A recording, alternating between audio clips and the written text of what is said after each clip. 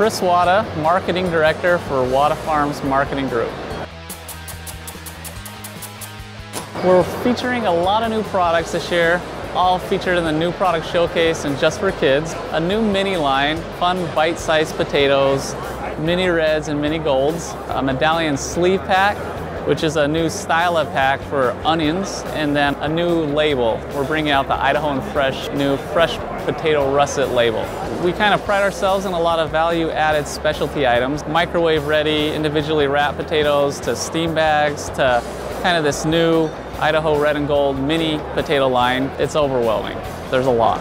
And then we're featuring our fully restored, just in time for the show, 1934 Ford truck that was my grandpa Frank Wada's original truck, and it's kind of fun. Hopefully they enjoy it. And now you know.